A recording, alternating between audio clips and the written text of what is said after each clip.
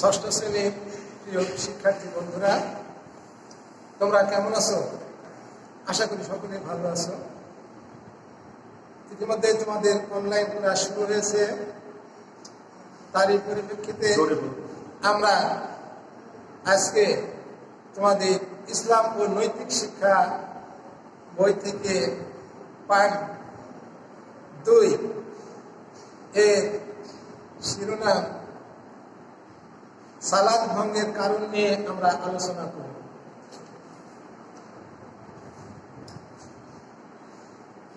দেখো, সালাদ শুরু করার পর, অর্থাৎ তাকবিরে তাহারিমা বলার পর অন্য কোনো কাজ বা কথা বলা সম্পূর্ণ হারাম বা নিষিদ্ধ। যদি কেউ এমন কোনো কাজ করে, তবে তার সালাদ বাতিল হয়ে যাবে শিক্ষার্থী বন্ধুরা, এবার এসে দেখি কোন কোন কাজ করলে সালাদ বা নামাজ ভেঙে যায় বা বাতিল হয়ে যায় তা নিয়ে আলোচনা করি। নম্বর এক, নামাজের মধ্যে কথা বললে নম্বর দুই নামাজের মধ্যে কিছু খেলে বা পান করলে। শব্দ করে হাসলে। নামাজের মধ্যে কাউকে সালাম দিলে বা সালামে উত্তর নিলে বিপদ বা কষ্টের কারণে উচ্চ স্বরে কাঁদলে। কোরআন মাঝি দেখে পড়লে। তো শিক্ষার্থী বন্ধুরা আমরা পরবর্তী পৃষ্ঠায় যাই। শিক্ষার্থী বন্ধুরা নম্বর সাত কিবলার দিক থেকে সেনাম ঘুরালে। নম্বর আট দুই হাত দিয়ে কোনো কাজ করবে। নম্বর নয়, মুক্তাদি ইমাম অপেক্ষা সামনে দাঁড়ালে। নম্বর দশ, অপবিত্র স্থানে চেষ্টা করলে নম্বর এগারো, বিনা কারণে বারবার কাশি দিলে। নম্বর বারো নামাজের কোনো খরচ কাজ বাদ করলে নম্বর তেরো, কোনো সুসংবাদ শোনার পর আলহামদুলিল্লাহ পাঠ করলে। নম্বর চোদ্দ নিজের ইমাম ছাড়া অন্য কারও ভুল ধরলে।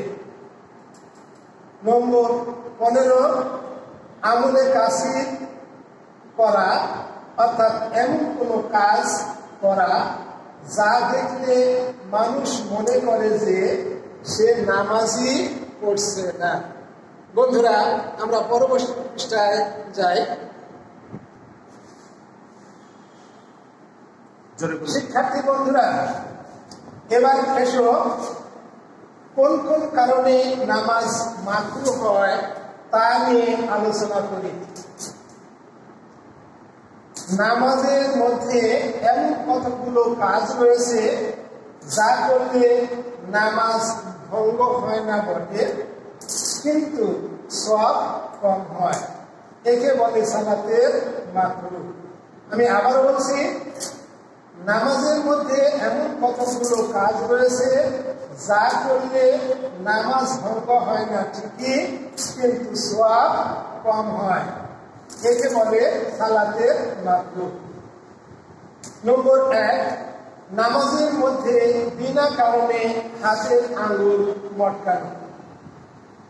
নম্বর দুই, আলসেমি করে খালি মাথায় নামাজ আদায় করবে নম্বর তিন পরিধানের কাপড় ধুলাবালি থেকে বাঁচানোর জন্য গুটিয়ে রাখবে নম্বর চার পরনের কাপড়, বোতাম, দাড়ি ইত্যাদি অহেতুক নাড়াচাড়া করলে।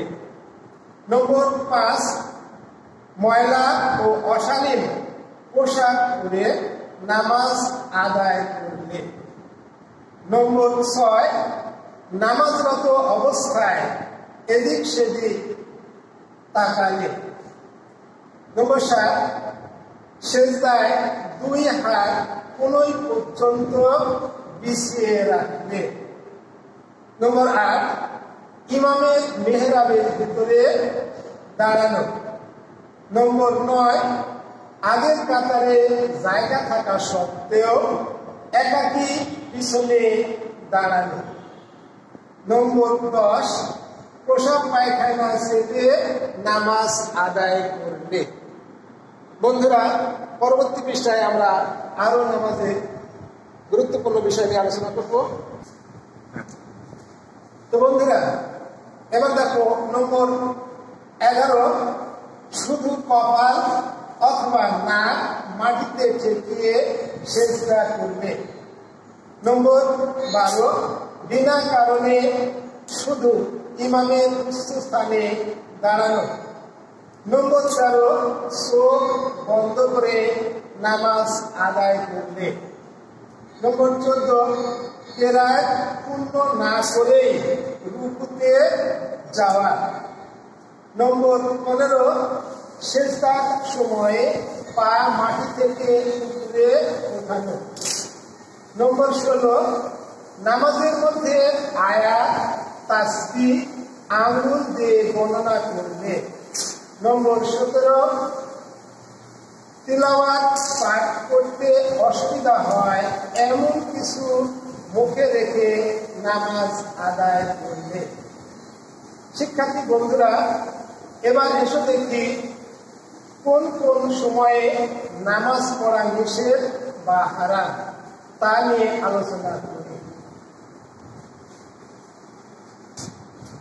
শিক্ষার্থী বন্ধুরা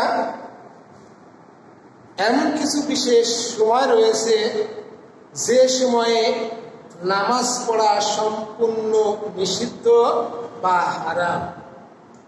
আমরা জানি তিন ওয়াক্তে নামাজ পড়া হারাম। তো বন্ধুরা, এসো দেখি কোন কোন তিন ওয়াক্তে নামাজ পড়া হারাম। নম্বর এক, ঠিক সূর্যোদয়ের সময়, অর্থাৎ সূর্য ওঠার সময়। নম্বর দুই, ঠিক দ্বীপ্রহরের সময়, অর্থাৎ সূর্য যখন ঠিক মাথার উপরে থাকে, নম্বর তিন, সূর্যাস্তের সময়, অর্থাৎ বেলা ডোবার সময়।